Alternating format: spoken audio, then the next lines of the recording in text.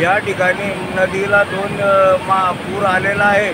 या दोन दिवसापासून डोंगराळी भागात भरपूर पाऊस झाल्यामुळे या न नदीला पूर आला व धरण शंभर टक्के भरलं आणि त्या धरण भरल्यामुळे या येथील आजूबाजूच्या परिसरातील शेतकऱ्यांना आनंद झाला की आम्हाला यावर्षी रब्बी पिकासाठी खूप फायदेशीर हे धरण ठरणार आहे बा असं म्हणून सगळ्यांच्या ठिकाणी समाधानी झालेली आहे.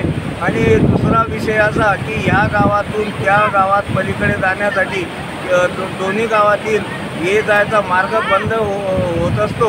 आणि खेड्यापाड्यावरील लोकांना सुद्धा पाचोरा ये जायसाठी या या म- अवलंबन करता येत नसल्यामुळे तर या ठिकाणी शासनाकडे आम्ही मागणीसुद्धा केलेली असून त्या बाबतीत ग्रामपंचायतीमार्फत ठराव दिलेला आहे.